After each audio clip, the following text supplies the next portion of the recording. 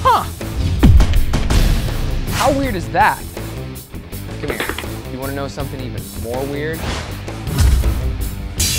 I hear it can stunt your growth. We call this a, a vacuum. Wow. If I'm gonna have to sweep this kind of vacuum cleaner, I want to use. I feel like I'm all in uh, Europe and whatnot right now, driving on the other side. It's kind of scary. Why is it that you're not wearing a protective thing as well? It's a prank we play on the new guys. Oh no. You put your mouth on the other end of the straw and suck the remaining air out of the straw. That creates lower pressure on that end and higher pressure on the end in your drink. We all have a space in our heart that belongs to the Lord. It's the driver's seat of our lives.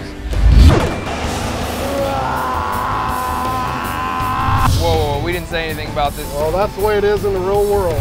I was just making it funny. And you think about that the next time you use one of these.